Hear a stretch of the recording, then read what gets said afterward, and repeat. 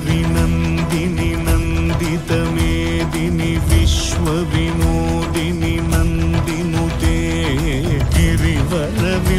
यशिरोधिनि वासिनि विष्णुविलासिनि जिष्णुनुते भगवति हे क्षिति